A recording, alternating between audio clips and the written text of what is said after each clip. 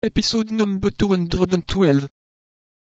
Ah, madam, said Porthos, in the most melancholy tone he could assume, when we are about to enter upon a campaign, a campaign, in which my presentiments tell me I shall be killed.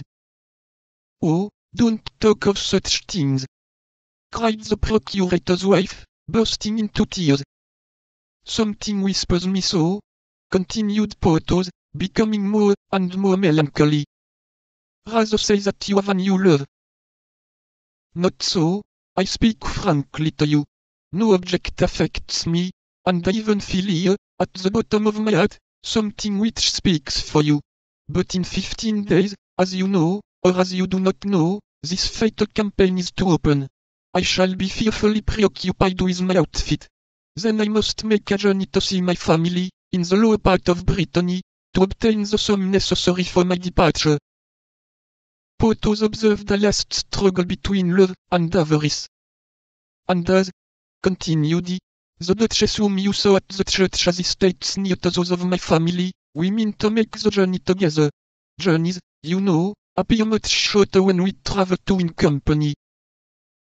Have you no friends in Paris, then, Monsieur Porthos? said the procurator's wife. I thought I had, said Porthos, resuming his melancholy but I have been taught my mistake. You have some, cried the procurator's wife, in a transport that surprised even herself. Come to house tomorrow.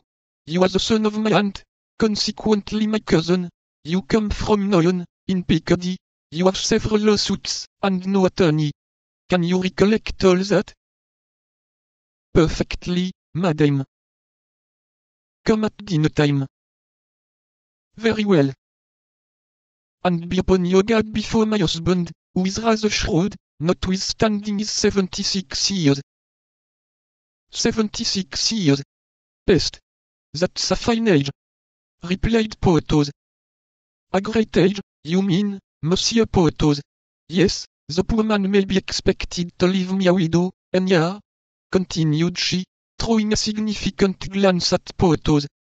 Fortunately, by a marriage contract, the survivor takes everything. All? Yes, all. You are a woman of precaution, I see, my dear Madame Coquenard, said Porthos, squeezing the hand of the procurator's wife tenderly. We are then reconciled, dear Monsieur Porthos, said she, simpering. For life, replied Porthos, in the same manner. Till we meet again, then. Till we meet again, my forgetful charmer. Tomorrow, my angel. Tomorrow, flame of my life. Toti D'Artagnan and the Englishman. D'Artagnan followed Milady without being perceived by her.